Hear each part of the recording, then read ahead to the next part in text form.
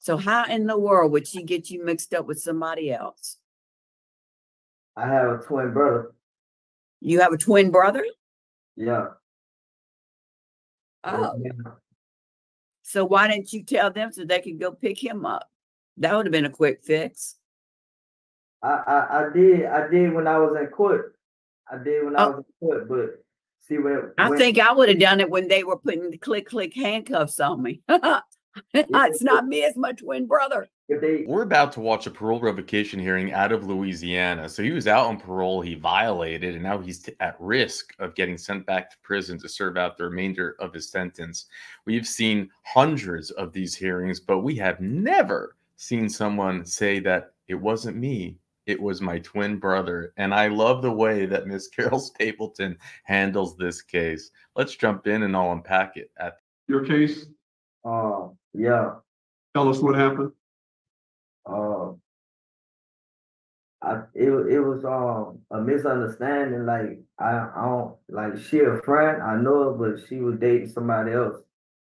And she she gave like the wrong name. I never I never harmed her or did nothing to her, so they had dropped my charges. To um disturbing the peace. You didn't have any contact with her or any uh, altercation? Oh no, sir. Okay. There was no violence or no scuffling or anything? No, sir. I see. And that's all you want to say about it? Oh yes, sir.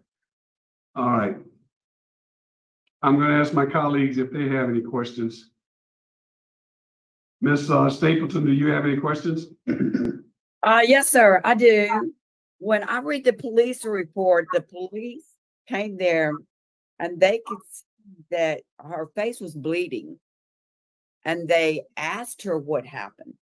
And when she explained to them that you bit her on the face. So how in the world would she get you mixed up with somebody else? I have a twin brother. You have a twin brother? Yeah. Oh, Yeah.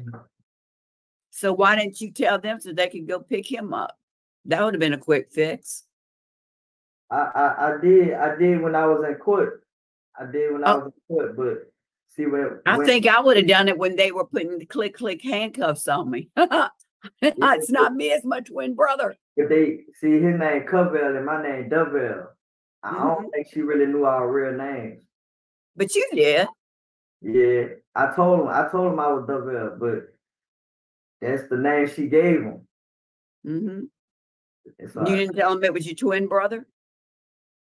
I mean, yeah, I told him I didn't date her like he was, you know, but it wasn't nothing I, I can do. I was still going to jail, like so. So you just took you just took it and went. Yeah, I was I was hoping I, I had beat it in court. And I Yeah. But you were the one that was on parole, right? Was your brother on parole too? uh I don't I don't know I don't know if he on parole or not. I know I'm on parole. Yeah, so you had a lot more to lose to go to Yeah. jail, didn't you? That's why I wouldn't I wouldn't do none of that. I I- think I'd have squealed like I think I'd have schooled on him on something like that. Hey, I don't really be big on trying to get in trouble on parole. I really I was paying. I was trying to walk it down. Yeah. Yeah. Okay, well, like I said, they saw that she um that her face was bleeding and she said that you bit her in the face and um so that there was a verbal al- altercation. There was an argument and I don't know how in the world she'd have gotten you mixed up with your twin brother and why you didn't let him know it was him. But that's my only question. So I'm finished. Mr. Prater, you have any questions? Sure. You don't? No.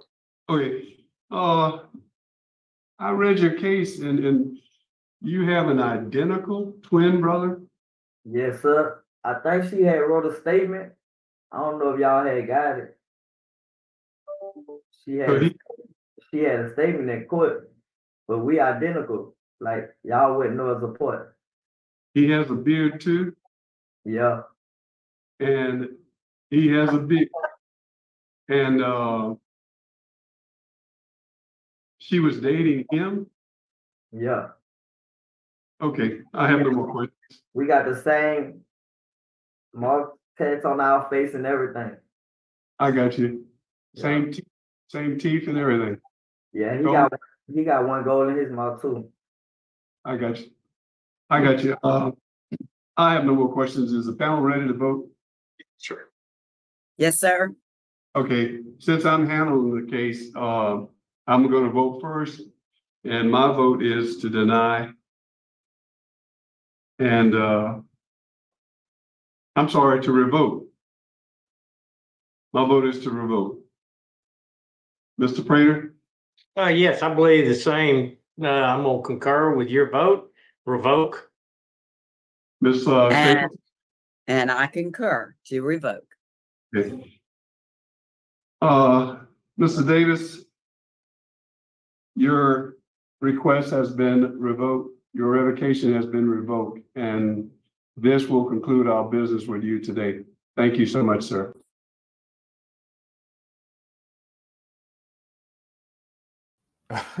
okay, I mean, let's be real. This was probably one of the funniest parole revocation hearings we've seen. And, you know, to his credit, I, he, he wasn't even taking himself seriously. He's cracking up.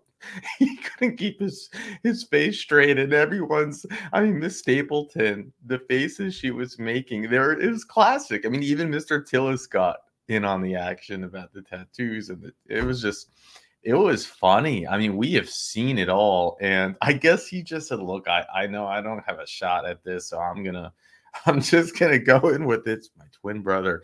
And Richard provided some information. I tell you, I did do some looking out. I was hoping we'd find his twin brother. I wanted to see him, but couldn't find anyone that looked like him with the same name. Um, so maybe he's just, you know, the only one that keeps getting in trouble. And in trouble he does keep getting into. I mean, this one is just most wanted, finally caught, right? This is uh back in 2018, uh, um, sorry, 20, 2007. I don't know, not such a big crime was like stealing checks. Here's another one where this was actually quite intense because him and his buddies escaped prison. Um, five escaped prison. This is 2010. And here he is. I was hoping we'd see his twin brother in here as well, but we didn't. And it said the last of five inmates who escaped the Point uh, Detention Center turned himself in Thursday evening. Authorities reported that he surrendered at 7:30 p.m. Deputies said he found four others le- who left a work release program. So, and according to the sheriff, in addition to Brissy, Justin Johnson, Lyndon, Terry, blah blah blah, um, the four men turned themselves into the U.S. Marshals in Baton Rouge after sunrise. I mean, can you imagine being given the gift of work release and having like zero impulse control where you would just get up and walk away from that you're, you're putting a you're given a gift of work release and you walk away you escape.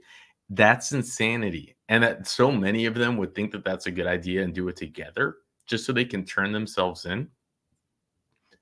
And these aren't little kids. You're talking about you know late 20s 30s like wow it, it just it sends the message about you know if, if you cannot have impulse control to to to do things in your own best interest then you're a danger to society the four men turned themselves into u.s marshals in baton rouge just after sunrise he said that uh, Torres said work release is offered to nonviolent criminals who qualify in the final three years of their sentence. He added that the men left to the, the dormitory style room and jumped the fence. His office is still investigating the accident. This is a minor setback, but I think the people of Louisiana need to understand this program is a statewide program and it does work. We often see people like like with DUI cases in the work release programs, and and we have seen people on work release that make more than 160k a year. Now they're they're they're often in in the in the oil jobs offshore on the boats, but yeah, we have seen that. Now they do have to pay for their room and board um, when they're making that kind of money, so there's, you know, they're they're and, and it's not cheap, but they are putting a lot of money away. Um, and then here's uh did we look at this one already? Okay. Here's another one. This is 2018. Suspect arrested facing multiple charges of drug bust. And I wonder if this is his twin brother. You know, it's possible. But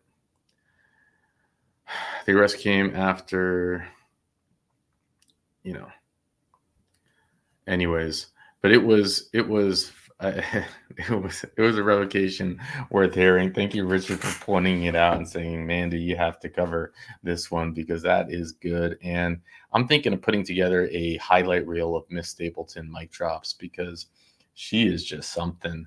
And with that, I'll let you go.